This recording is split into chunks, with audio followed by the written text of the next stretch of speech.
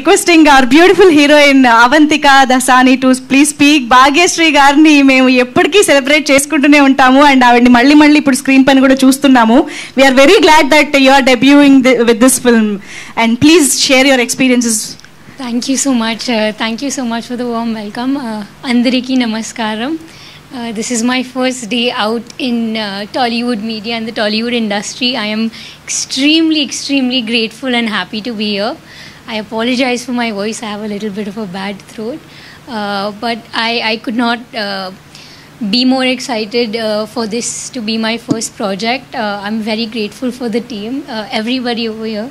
Thank you so much. Um, and I hope that the South industry, the South media, and the South audiences uh, welcome me with the same kind of love that they have showered my mom over the years.